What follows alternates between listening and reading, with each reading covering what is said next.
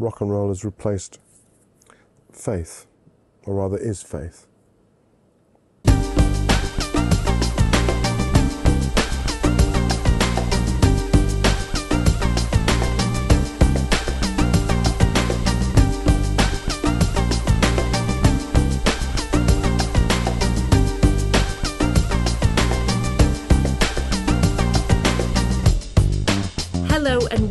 To the Paul Ryder Tapes.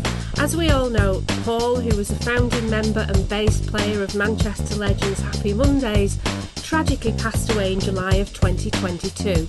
But in the months leading up to his death, he sat down with me, his ex wife Angela Smith, to tell his complete life story for the very first time. We had no idea that he was about to die, and we finished recording his story just 12 days before he passed away. This is part 9 of his story. Coming up in this episode. Nathan said they were thinking of getting Debbie Harry, so I said, I'm joining back again. I'm not the plundering. Imagine Debbie Harry replacing me. She used to have to look out the car window and look for police, make sure the police aren't coming. That's terrible. I said to Linda, oh, I don't know what they're doing. I think they're having an orgy or something, but I can't go, go. Well, cocaine has become the the champagne of, of the creative classes, and it's strange. It's the one thing that stops you doing good work. been promoted from heroin to crack. Brilliant. And you know what the funny thing is? I've actually been back to Barbados on holiday. And I can't believe what a great place it is. So your marriage is broken up, Pills and Thrills has been released. hmm Um, you've moved back in with your mum and dad. hmm You've finally got custody of your children. Yeah. How did that work, living with your mum and dad? Did they take over the majority of the childcare because you were just focusing on your band and heroin at the time? How did? how Yeah, I was still busy with the band, and they, they took over parenting. Sometimes I don't know how we got through it because we always had to think of the children. So you just had to. If I thought I'd probably have ended up breaking down myself, but you've got to think of the children. And I still had to work. I still had to carry on with with children in my work. So it was very, very hard. And you keep on a brave face. How did that feel for you? Did you notice that you weren't really there as a dad at that point? Well, I took them to school, and if I was around, I picked pick them up from school. right, and but I'd take, emotionally, I'd take uh, Jacob to football. right. But emotionally, emotion, emotions, Yeah. I, I wasn't there. Obviously, I was just numb and dead. And how does that make you feel now when you look back on that? You know, I've got, I've still got guilt about it, but I've had seven years worth of therapy, and I've worked through a lot of this stuff. Right. Have you made amends to your kids? For I, I make a living amends to them. What does that mean? I stay sober, one day at a time. Right. But in terms of your relationships with your children now, with Very your two, good. especially your two older children. Yeah, we have like? very good relationships with both of them. Yeah. Very, very good. Do you think they've forgiven you? I think so. Yeah. What do you think the worst thing was that you did? when you were- Um. Okay, if I'm brutally honest, smoking heroin in the car with Amelia there, with the windows up so the, the wind wouldn't blow the heroin smoke away. wow. I know she has memories of you taking her. Uh, I uh, she used to have to look out the car window and look for police, make sure the police aren't coming. That's terrible. How old was she then? Four. That's really, that's really a really extreme. I mean, like, uh, how do you process that? That's seven years worth of therapy. Yeah, It took a long time. yeah. took a long, I know long she's time. had a lot of help around it too. Mhm. She's really good now. Yeah, she's now a therapist. Yeah, hmm but the the implications to everyone around you of being a heroin addict Hmm. are so intense and immense. It's it's just it really it doesn't just destroy your life; it destroys the life. Oh, it's insidious. It's a sneaky, horrible disease. I'm going to jump in and tell this story because it's kind of relevant to what you just said. But um, Sonny was a baby. We just had Sonny. hmm And I was working. I was going to work every day because I had my production company, Mhm. and you were at home with the baby. And um, you were largely you were trying to stay clean. There were the odd slip here and there. Mm. Um, but I, I felt like it was safe enough to leave the baby with you because you seemed to be on the straight and narrow. And then uh, he did a gig. Mhm. It was at a club in Manchester, Yeah, I and you were on you were on stage, Yeah. and your drug dealers, who I'd met when I'd taken you out of the drug house a couple Mhm. of times, hmm I caught eyes with. She was in the crowd, and she caught eyes with me, and she came bounding over to me, and she said, "How are you, love?" She said, "Oh, your baby's lovely," Uh-uh. and I, oh my god, I just lost it. Mm. Obviously, that told me that you'd taken Sonny in the back of the car as a four-month-old baby Mm. to go and get heroin. And from that moment onwards, we got Betty in, didn't we? Yeah. Child, because I couldn't trust you with the kids anymore. Insidious disease. Lie, cheat, was- steal. You do anything to get your drugs. Yeah.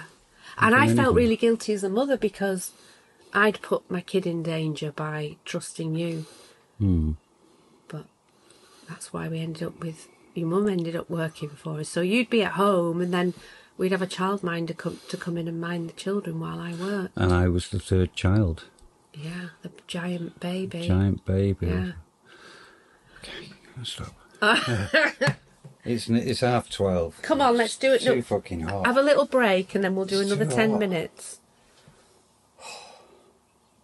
You sure? Have you Yeah. got what questions you're going to ask? We need to move on. Keep recording, Stephen. Um, do you find it hard talking about this stuff? No.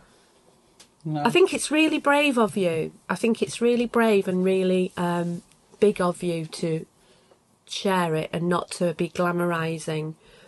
It ain't glamorous. No, It's just not glamorous. no. It just shows what what horrible disease addiction is. Yeah. You need to talk later about how you stop. Like, I know it's hard, but it is possible. Thirteen rehabs and eight goals of ibogaine. Was it eight goes of ibogaine? Yeah, I used to do it on my own, didn't I, in France? Yeah.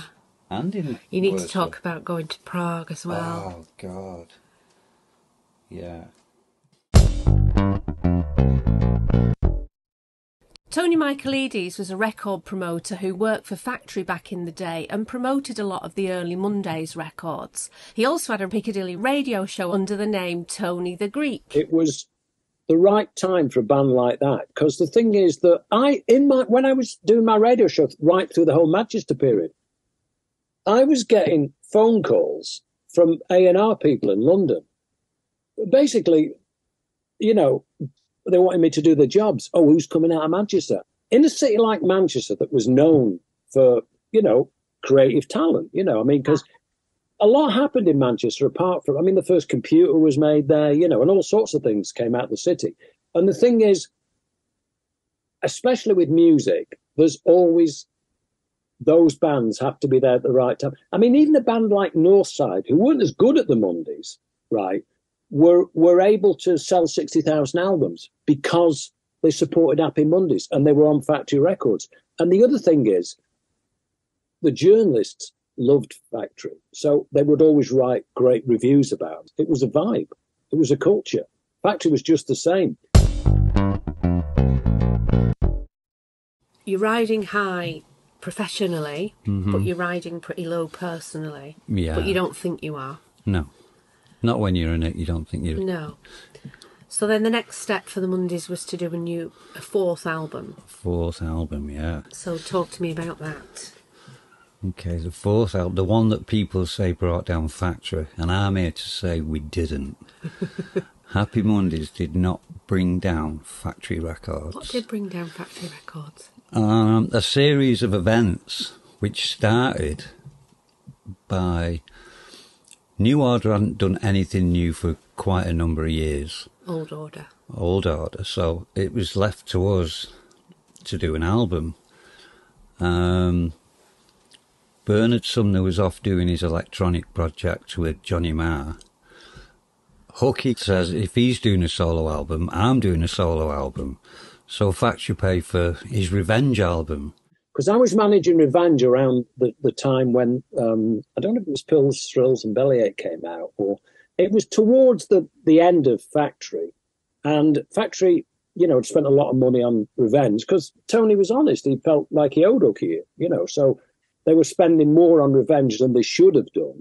Because, you know, it, it was the one member of a band that done solo. I mean, they don't usually get big priority status and Yeah. investment for marketing. What really annoyed me, the way they always blamed them for factory going under. Oh, And no, that no, was no, not was the lie. case at That was complete lies That was complete lies. That was I mean, not Factory the case. relied on them. Mm. I mean, them in New Order, obviously. Yeah, And another series of events. I mean, Can we just say we're not dissing Hooky though? Because Hooky was. never diss Hooky. No, okay. Never diss him, but he was. He was furious that Bernard was doing a solo album. So he wanted to do You one. can understand that, can't you? Yeah, of course could. Re- I, I like that revenge Good stuff. that he did, yeah. Yeah, some good stuff on it. Um, so it was, it was an, a series of events that brought down Factory. Certainly not the Mondays going to Barbados. Linda and Sandra always laugh when they recall the antics when they travelled to London for a gig with Mark's dad and lovely late mum Marlene. we'd not been on the train long when out came the sandwiches oh. and the drinks. Oh, I know. And you said to Marlene. Oh, Marlene, how thoughtful of I you. said, aren't you organised, you? Oh no, she said. Uh, next door have gone away, and I went to check the house, and they forgot the drinks and they forgot the sandwiches. So I brought them for us. the reason factory went under, right? And there's quite a lot of stuff about it, right? But the dynamic of factory initially was that bands signed to factory and were, it was done on indie deals, 50-50 splits. Oh my God, I thought, I was dead impressed. I thought she organised Yeah. And New Order, who were the ones who brought all the money in, right, and the Joy Division, they did it 50-50 split, but they never did any advertising. Because that's what New Order were about. No advertising. So it was great for Factory. 50-50 split, they were making money. So then we got to London. We got to London. Well, we got We in got the in a hotel. Oh, When God. all of a sudden you Oh. came into me Oh, I and said, I don't know what's going on oh, next door to me with Oh, them two. Do you remember? Oh, no, The first bands that Tony starts signing up, b- b- bands like the Railway Children, Northside, the Mondays, etc., etc., they started doing record deals. And the record deals, because of Tony being so philanthropic, right, they were so weighted towards the bands rather than the company. Oh, we could hear. We're screaming. And, oh, but Alan, Alan, don't do that. she was on. I said, oh, I don't know what's going on with the next door. And then what happened was because lots of advertising was going on the Mondays, New Order wanted a load of advertising as well. Right? So what had been a way of making profits became a loss leader. Um, and I think partly that was the, the problem. Well, we wondered. So the next, Alan comes and not. I'd gone into you back then. Yeah. Alan came in and knocked on the door and said, Ken, do you think you can help me next door? I can't get it up. And you went, you what? What's up? Because we were hysterical, weren't we? We was hysterical. We were terrible. I signed a band called the Adventure Babies. Everybody in the business was after them. Um, Virgin had given them 180 grand publishing, etc., etc. Everybody wanted to sign them. And I said to Tony, if I can get them for 115 grand, can we have them? Tony said, yeah, great. It was a bloody bed, wasn't it? They got it stuck? Oh, oh, oh, we. Oh, And what was then- it like? Oh, it was hilarious. But all you Oh. could see was Marlene's big slippers. I know them slippers. Not thinking I could get them. And I got them for 115 grand. And then Tony took me for a meal, Chinese, and said, we've got no money. It was one of them that One of these up, beds that went up and down. Yeah, and they tried to get it But down, and they, oh. It just kept going And up. that's what the down. noise was, wasn't it? And we're thinking, what's going on? Now, this band need they were like Beautiful South. They needed promotion. We didn't have the money to do any of it. Marlene was lay on the bed. I couldn't get I said to the Linda, bed. oh, don't know what they're doing. I think they're having an orgy or something, but I can't go, go. And poor Marlene's hysterical because the bed was going woo woo woo. Tony thought I was the one who would be end up being the general manager of factory. Thank God it wasn't me because I had no idea what I was doing. But you know, I would have looked at the finances maybe better. There's something weird stuff went on at the end. Yeah. But it's not the Monday's fault. And he had to come and get Ken to stop the bed. Stop the bed. there we go.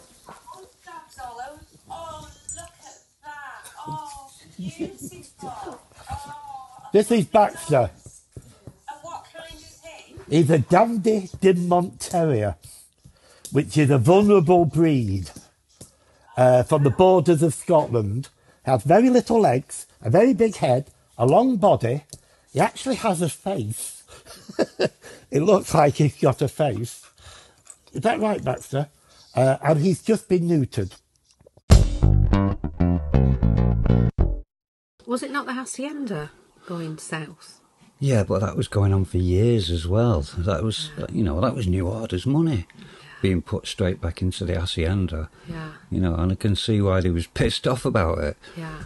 Um, all their money because the hacienda never made any money for many, many years. Not until Never that- sold alcohol. It just, Yeah. people getting water because they were all on ease. people getting water and everyone stopped buying alcohol. Um, but it was, don't forget, it was open for 10 years before that, that rave scene happened. Yeah. And they put some great bands on. Yeah. I saw some mega bands at the Hacienda, and all that was due to Mike Pickering. He was the, he was the one booking the bands, and he seemed to get bands just as it was about to break. So you'd see him, and it'd be like 30 or 40 people in the audience. Can you remember who you saw there? Oh God, saw Simple Minds, Culture Club, Orange Juice, um, um, oh God, I saw electronic there. you saw electron. I saw electronic there. Oh, maybe we were there at the Yeah. same time. Um, uh, Gil Scott Heron, Nico. Saw Nico. wow. That was a weird one. Everyone was just sat on the floor. Really? Yeah, all gouching out. I saw loads of bands there. So Barbados, who decided that Barbados was a good idea and why? Um, Barbados was a good idea because there was no heroin on the island. Okay. And Was Tony aware that you were on heroin as well at this point? I thought nobody knew. I thought I was completely incognito on it, and nobody nobody knew, but apparently everybody knew. But I've always thought of heroin as being a mistress because you don't want to tell anyone about her. So she's always in the dark, you know, it's always hush, hush, hush, hush, you know. You don't say, oh, hey, look, I'm going, you know, it's. Uh, and she's a very seductive mistress. she'll be really nice to you, but by the end, oh, she'll ruin you. I just didn't advertise it like Shaun did. So when you realised he had a problem, how did you feel about that? Well, everybody had problems in our bands, band, really. So it's just normal. I'd be, be more surprised if they didn't have problems. But um, with the drug problem, I still didn't realise what his main drug was because I would have thought the one we saw him taking the most would have been cocaine.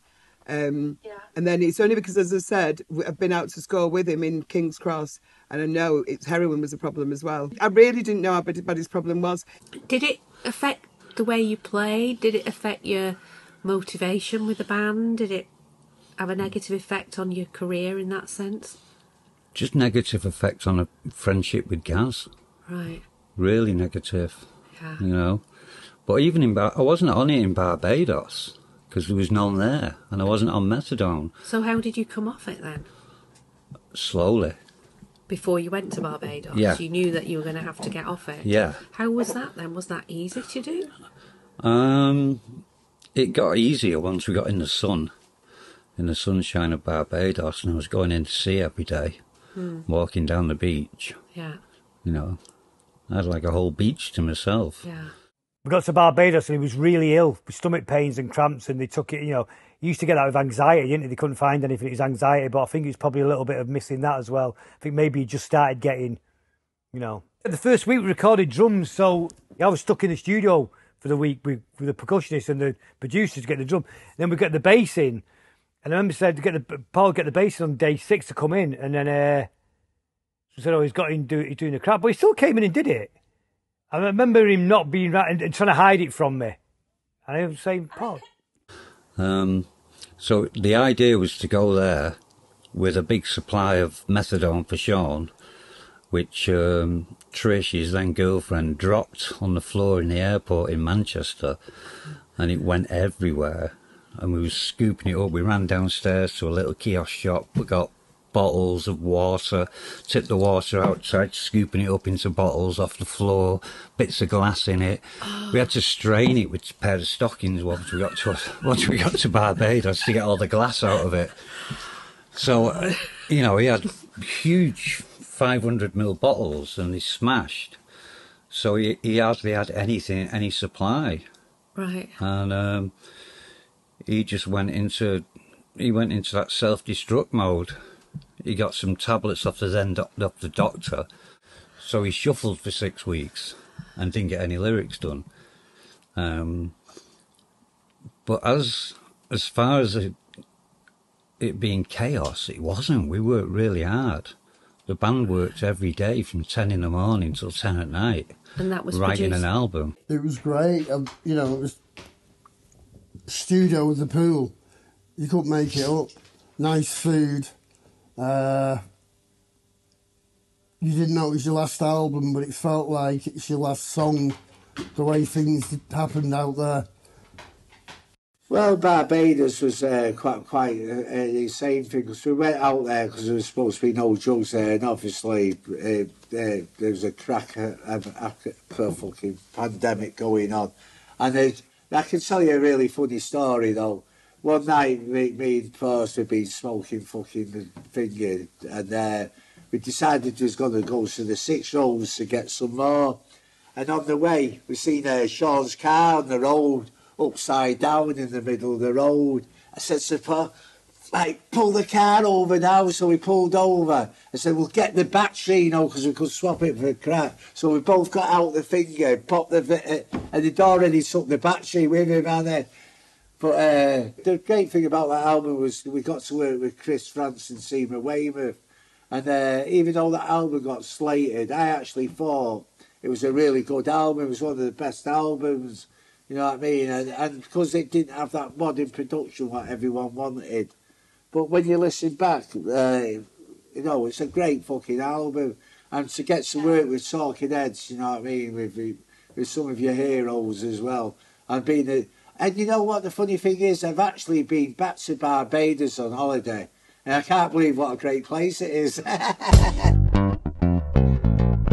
It was produced by Tina Weymouth and and Chris Frantz from Talking Heads, the rhythm section from Talking Heads, Yeah. which was incredible for me. Yeah. That was just like a dream come true. Yeah. I think they did a great job. It's one of it's my favourite album. And Gaz Whelan's favourite album. Yeah, I like that. You know, Shaun's not going to like it because Shaun was in a bad space at the time. Right. He's never going to like it. Yeah. What about the crack though? Didn't Shaun do loads of crack because there was no heroin? Or Yeah. that just a myth? No, no, he did. Yeah. Yeah. And I'm guilty as well. I did it. Yeah. And PD did it. Yeah. You know. And Bez. And Bez did it. Did you go to Barbados to do Yes Please? No, I didn't. I think I'd, I think I'd, I'd, I'd just gone to and joined Perfecto, Paul Oakenfold's label, so I had to make it. And Tina and Chris were recording there, um, So no, I think I'm lucky I didn't go to Barbados. And then um, I think Nathan said they were thinking of getting Debbie Harry. So I said I'm joining back again. I'm not plundering. Imagine Debbie Harry replacing me because Tina Tina Francis friends with her. I didn't care who replaced me if they needed a girl, but not Debbie Harry. I fucking love Debbie Harry. So I was like no. So then all, all of a sudden my label, my record deal can fuck off. I'm going to Barbados. Just call me when you need me. Bez had a bad accident, didn't he? Yeah, he's uh, he broke his arm. He flipped over the jeep, which was like um, there was no roof on it, it was, but there was roll bars. Yeah, but he broke his arm, and while he was on the uh, operating in the operating theatre, he got a disease in his bones, and it turned to mush. And if he hadn't got back to England when he did, he could have lost his arm. Wow. It was uh, it was really bad. Yeah, yeah. But as far as it being complete chaos and nobody doing anything, it was it was heavy work. Everything while I was in Barbados that three week, I've got lovely photographs with Shaun. Everything seemed to be fine and dandy when I was around. And I think after I came home, we were hearing these stories, and I'm thinking, oh my God, what on earth is going to happen next? It was just chaos, and I thought, oh fuck, this is it. I better find a job. Drugs come as part of the package in rock and roll, in fame, in celebrity. And some drugs you can survive, um, some drugs you can't. I mean, I'm not someone to knock cocaine, but in the music industry, it is the great destroyer of talent. It was, to be honest, to go to Barbados, which was like, you know, the crack capital of the Caribbean, but we didn't know that. But, you know, you say you've been promoted from heroin to crack. Brilliant. Everyone knows why, if you take cocaine, apart from feeling good for a while, everyone knows why it makes you think that when you're doing crap, it's genius. Because that's what the drug does. But no one has ever established why it automatically makes you do crap. Well, I knew we had the songs. The songs were they're okay. It was just um, um, the atmosphere that it, you never knew what was happening next. And it's it's just the reality of the creative industry. And more and more, cocaine has become the the champagne of, of the creative classes, and it's strange. It's the one thing that stops you doing good work. Bez would be off gallivanting, killing himself. Shaun would be doing the same. Hospital bills, people not getting paid, producers going on strike, or engineers. And this was because we were running out of money. It was bleeding. The factory was bleeding. And we were trying to. Nobody else was put, putting a record out. And um, it's something that I mean, some of the worst drugs like heroin do not stop you creating. Really? How was Paul during that time? he was, yeah, he had issues as well. The great line from Ahmet Ertegun or Nesuhi Ertegun, one of the great Atlantic guys, which says, you know, don't worry about heroin. Some of my biggest artists are junkies. They've been junkies for 30 years. They've been giving me platinum albums for 30 years. Um, he was still playing, but it was a case of Chris and Tina change. It was it was just getting a bit like weird. That's you know one of the world's great horror drugs, supposedly heroin, doesn't stop you creating great work, as anyone who has studied the history of British poetry knows. Because um, we was there for a month and a bit, and uh, we, we, you know, we didn't get the vocals down. But when it comes to cocaine, it stops you producing. And I mean, I've had anyone who's worked in the record industry for any while has had their share of cocaine albums. Um, and I just couldn't see it. This isn't gonna, you know. But uh, I won't even say which mine one was. But um, it was almost as bad as Tin Machine. And it's not one of those things really. They build you up and they chop you down, but we chopped ourselves down, you know. And in case you're wondering, Tony did name a cocaine album, and it wasn't Yes Please, just in case you're wondering. So Paul, one of Paul's big bugbears was that the Mondays got blamed for factory going under. Yeah, not true. I mean, we we kind of got pushed to go and do that album, even though we'd only half written it because I don't think New Order had done an album for a while, so they relied on New Order and us for a little bit of funding because they'd signed all these bands. So we were pushed into it. When we actually split up, Factory owed us money. When the factory went bankrupt, they owed us, they owed us money. Is it just a myth that Shaun sold the furniture in the studio for crack? Absolute nonsense. Really? Yeah, complete bullshit. Where did that myth come from? It came from he was. We used to get we used to get a crack off a guy who lived in a hut in the middle of a field, and he didn't have any chairs. Yeah. He just had some sponge on the floor. So there was one chair. I think it was next to the rubbish bins outside the studio, and Shaun put it in the car. He was taking the big man a chair. Right. And then it just went on from there. Next thing, it turned out to be the whole studio went missing and we sold it all for crack. It's complete bullshit. Really? Absolute bullshit. How did you get on with Chris and Tina? Great. Really good. Yeah. Really, Were they really. pleased with the album? Um, I've never asked them. Yeah. I've never Must have been frustrating for them that Shaun didn't do any. Do you do no lyrics whatsoever? Like nothing? He tried to, and Tina took time out with him in a room on, on their own, and tried to get him motivated. But he was just in a he was just in a mess. He couldn't do anything. Mm. So we aborted the uh, the mission. And then Shaun obviously wasn't doing any vocals.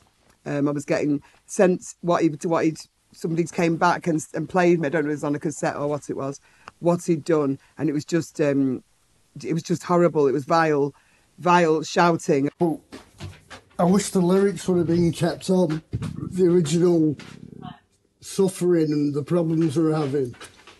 Because was redone, the lyrics. And I think uh, it took the, uh, the true feeling. It wasn't nice and it wasn't tuneful. It wasn't any good.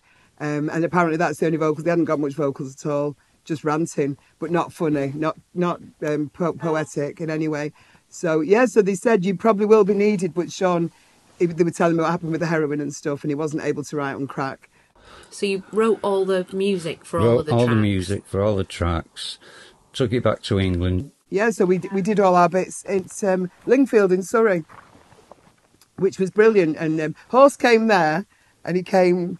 Nobody, nobody from the band really came. They weren't allowed because Shaun had to get his head down and get the vocals done. Shaun went in rehab, came out and did his lyrics, and I think it's some of his finest work. Yeah, Mm. yeah. Where did the pain start? Where Yeah. did the symptoms begin? Yeah, he's done some great and stinking thinking, best anti-drug song in the world. Yeah, he's- I think it's his finest work. Wow. Compliment for your brother. Yeah. Okay, we've got to stop. Okay. Okay, so we're back again. How do you feel about how this is going so far? It's like a very heavy therapy session. Yeah, Yeah, it's uh, exhausting. yeah, It really is exhausting. I went I went to the hotel last night and just slept. yeah. Yeah. Why do you think that is? Uh, Just probably because I'm talking about myself, Yeah. and it's not really a, a done thing for me. I'm usually very private. Does so- it? Is it bringing up bad memories or good memories or? Just memories, memories, good and bad. Oh, yeah. Yeah, I, you know. Do you feel like you're digging deeper than you're comfortable doing? At some points, yeah. Yeah. Good. Yeah, but because I know you so well, it's kind of okay. Yeah. You know, if anyone else was asking me the questions, I'd probably just clam up. I can't let you get away with that though, can I? No. All right, so we we left off the last uh, session talking about Barbados. Yeah. And the recording of Yes Please. hmm Which Um, was very, very enjoyable. I'll say it again. It was probably one of the best times of my career working with Chris Frantz and Tina Weymouth Why was that? because I'm such a big fan of Talking Heads. Yeah. Big fan of Talking Heads. I remember it was 1970, 77, 78. Adkid came on from work and he said, I've got tickets for to see the Ramones tonight. And we thought, yeah, great, I'll go and see the Ramones. But we got there early and there was a band on before them. And it's like, well, this, these aren't punk. I don't know what they are. And it turned out to be Talking Heads. they was supporting the Ramones on a British tour. So I saw I saw the Talking Heads early days. And at that very same concert, I found out years and years later through Dennis and Lois, there was a young kid who was with his dad at the same Ramones concert. And Dennis and Lois got him backstage to meet the Ramones. And it turned out to be the guy from the Doves Oh wow. when he was like nine years old. Wow. Yeah. Amazing. Yeah. Incredible. Wow. So when you were working with them, were you starstruck? Were you nervous? I was nervous a bit, yeah. It was like, wow, fucking, I can't believe I'm doing this. Yeah, but that, it soon it soon got down to serious business of writing tunes and jamming and playing in the studio. What are they like as people? Lovely, lovely people. In what sense? Just nice, kind, encouraging, very encouraging. Yeah. Were they fans of the Mondays? I think so. Yeah, I think they'd definitely heard of us or they'd done their homework. They'd definitely done the homework on us. How did it come about that they were the ones producing the album? Um, I heard a song called "Tomorrow People" by Ziggy. I think it was Ziggy Marley, and they produced it, and it was a great pop song, really well produced. When we was trying to think of producers for the next album, when Oakenfold and Osborne wasn't available, But it transpires it wasn't really that they weren't available. Of course, I wanted to do it. I mean, you know, who wouldn't want it coming off of a platinum record, you know, a record that changed culture uh, in terms of bringing dance and indie music together and creating a sound called indie dance that NME and Melody Maker always used to quote, qu- say to me, "Oh, you." You know this sound, this indie dance, and so of course we wanted to do it, but there was no demos. It was a recipe I, you know, uh, I, I know enough about music to know when to do something and when not to. And then drugs were really, really in the mm. mix big time. There's a lot heavier drugs going on. You want us to record an album with nothing just to go there, and you know everyone's going to go like that. Mm. They weren't getting on, so everyone's going to go their own ways. And then suddenly it's down to Steve and I to go, da, da, da. it didn't feel right for me. And I and I was the one who put my hand out, and I just, I was like, I ain't doing it. I, I, I, mm. I it doesn't. We're going to be in trouble here, Steve. It ain't going to work. Mm. And that's when, and as I say, I love them. They're great. I'm a fan. and, but it didn't feel right. And I'm glad Glad we didn't do it. that. And Nathan McGough was like, "You made the biggest fucking mistake of your career." Da da da da da da da da. da. They're going to be as big as Pink Floyd, and I'm like, Nathan, I want to do this, but you've got to do demos. We've got to figure out what we're going to do because if we don't, it's going to turn into a mess. um, it was me that said Chris Frantz, um, Tina Weymouth, because they'd done this song and it was really good. So me and Nathan went over to see him in New York. Did you? Yeah, went, went to their house in Connecticut and stayed the night. Stayed the night in a hotel, but went to their house. Yeah. And um, they had a great big studio at the back of the house called the Tom Tom Club. Right. That was the name of their studio. And we went in there and saw all this old equipment, and it was like, it was great. Love Talking Heads. Love Yeah. Talking, yeah. So I can now say I've worked with two in the rhythm section of Talking Heads, Yeah. which is a great on my CV. Do you ever use your CV for anything? No. So you don't need to. Just there if I need it. Yeah. We talked about you not being a classically trained musician before, didn't we? Yeah. Did that get in the way in the studio with them? No, not at all. Not at all. Oh. Because I don't think they're. Um, I don't think they're trained musicians. I think they're self-taught as well. Were they frustrated with how Shaun was in Barbados? I think so. Yeah, yeah. What makes you think that? Well, they never got the job done, did they? They had to kind of hold their hands up and say, "We're going to have to fi- finish the session.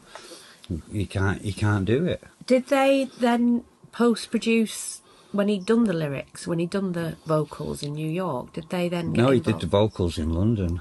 Oh, so who then put the th- put the thing together? Chris and Tina came oh, over. right. So they Yeah. came back. So they did finish the album. They finished the job eventually, yeah. Right. Yeah, after he come out of rehab. Yeah. Was it hard to convince them to do the album?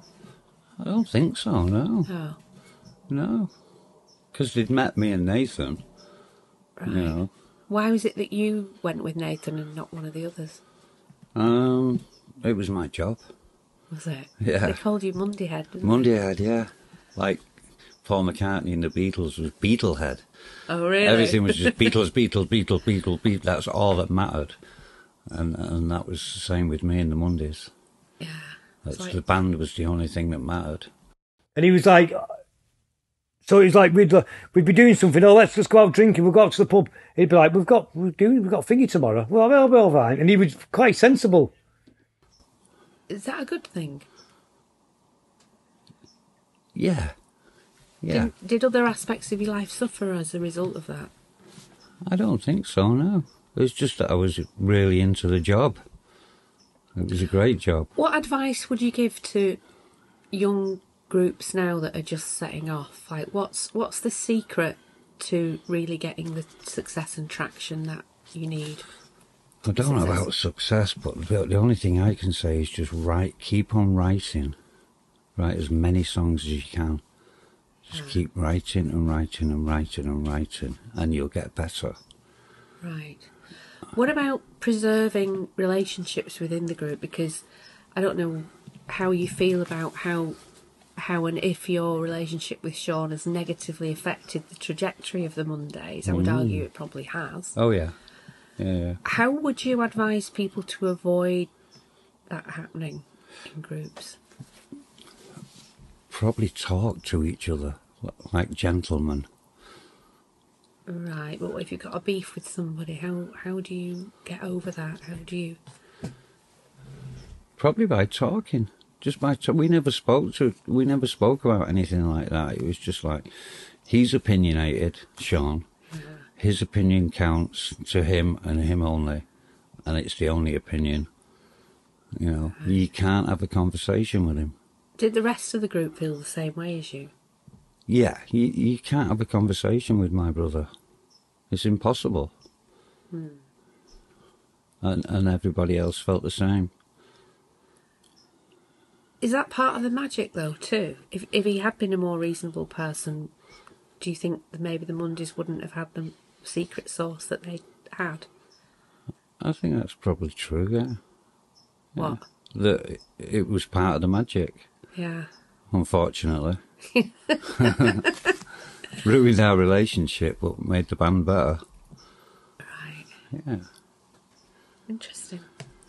Okay, so you came back from Barbados, Yeah. and then the album got released. It wasn't greatly well received by the critics, was it? No, but it, it was a hit record. It got to number fourteen in charts. Yeah. and um, it was one of the last things to be released on Factory Records before they went under. What was the last video that you did? last official one was Sunshine Love, but the band weren't really involved with it. So the last one was probably um, Judge Fudge, I reckon. Or Loose Fit, maybe. And how many years had gone by between the first one and that last one that you did? Three. Three. Would you say they changed as people during that time? Were they different to work with when they got some success under their belt? Not in the slightest. I, I would say if they had, because with us, the relationship was exactly the same from day one until the end. It was no different at all. They were exactly the same. And it, that's probably because we didn't hang out together and we weren't, didn't have like all those different weird personal dynamics. We were just, we worked together. We saw each other when we were out and, you know, we got on and trusted each other sort of thing. Do you know what I mean? In a professional capacity. Because they were, you know, people go on like how unprofessional they were, but they weren't really with us because we were, you know, we weren't, we, I, I certainly wasn't taking drugs while I was making those videos because I thought, well, what's, you know, why, why would I do that when we've got to get a video made? Everybody else is off their fucking box.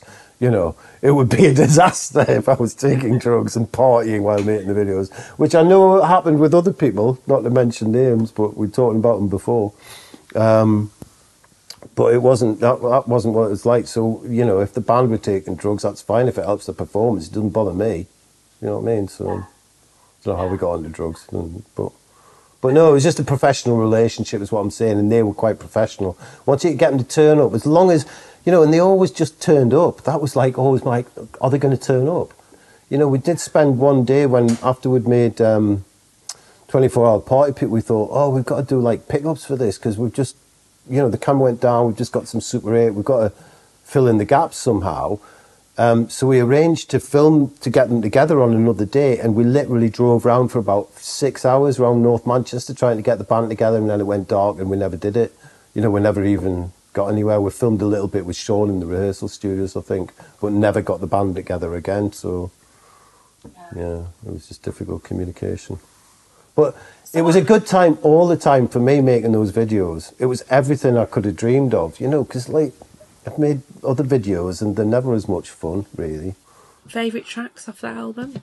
Oh, I mentioned it earlier. Uh, Stinking Thinking. Yeah. Great. Sunshine and Love's my favourite. Yeah, you like that one, don't you? And it's one of Gaz's favourites as well. I remember that, yeah. Yeah. And um, Angel's good as well. Angel's really good, Yeah. yeah. Angel's really good. I think that that album has those real standout tracks. Mm. Whereas Pills and Thrills is like every song is brilliant. Yeah. I think that individually the three songs that st- or, or more that stand out on hmm on Yes Please are actually better than the ones on Pills and Thrills. But Oh, that's good. I think there's like there's one track that doesn't have any vocals on it at all, isn't there? Yeah, you couldn't. It's mainly PD's, uh, mainly PD's uh, little masterpiece that he did, and our kid just couldn't get any vocals for it, so it just ended up being an, our one and only instrumental. um, but my fa- one of my favourite tracks is Total Ringo, um, and I think our kid sings like John Lennon on that one.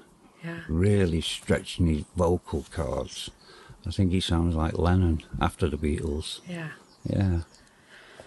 So the album you toured you did a tour with that album, didn't you? Yeah, which was, the tour was great. I saw some footage not so long ago, and we was tight, man. We was a really tight band. It was like all the songs was so tight and polished. We was all getting on really well. And your addiction was still underpinning everything at this point, I'm guessing. Yeah, I still, I was still thinking nobody knew, but everybody knew Yeah. at that point.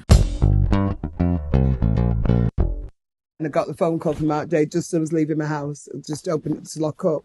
Um, and I thought he was joking. Horses did, because Mark, it was Mark Day saying, Ro, got some really bad news. Horses dead. I think he just said like that, and it just didn't seem, obviously, you don't think, because we're about to get on the bus. Um, and then it, it really became quickly, it was obvious it wasn't, it wasn't a joke. Um, that's it. Went to Linda's.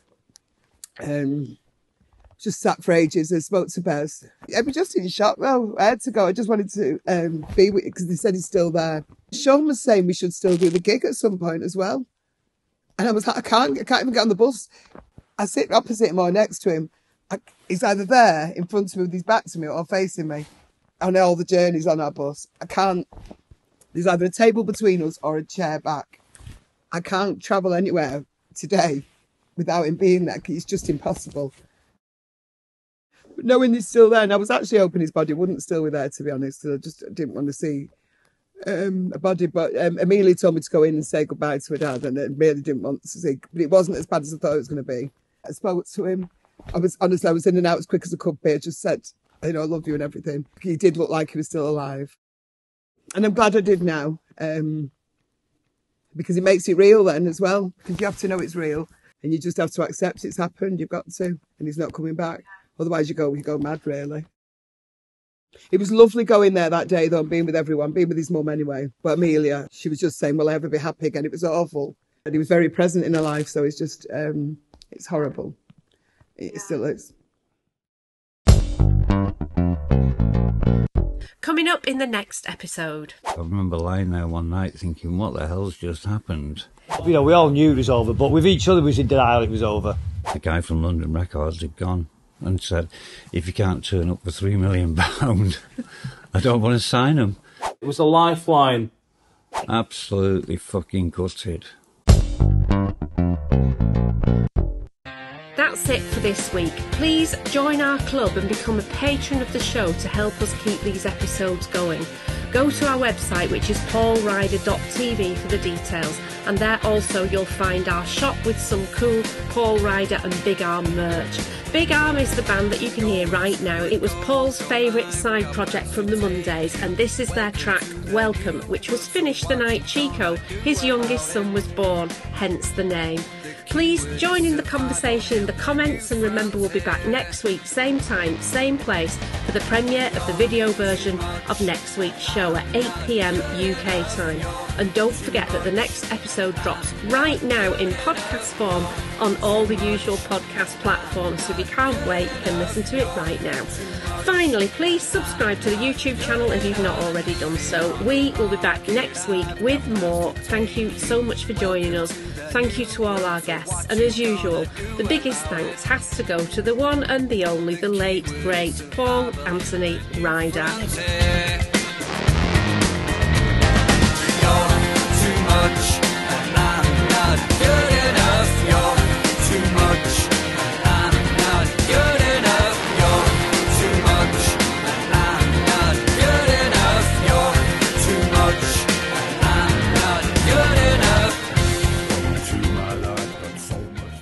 I certainly can't ever say I've had a dull life.